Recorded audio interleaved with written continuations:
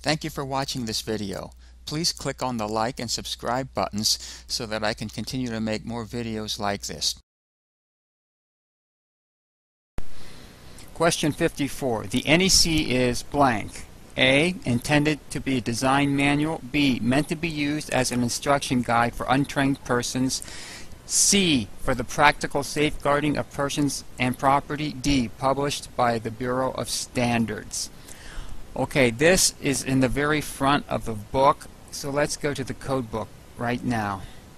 So here we are, Article 90, Introduction to the Code. Purpose, practical safeguarding. The purpose of this code is the practical safeguarding of persons and property from hazards arising from the use of electricity. And that is choice C as an answer for our exam.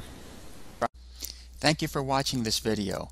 Please click on the like and subscribe buttons so that I can continue to make more videos like this.